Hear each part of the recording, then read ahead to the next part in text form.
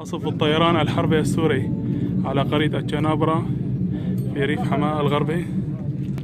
هذه الغارية الثانية التي نفذها بعد التنفيذ الأول على قرية القصابية في ريف إدلب الجنوبي.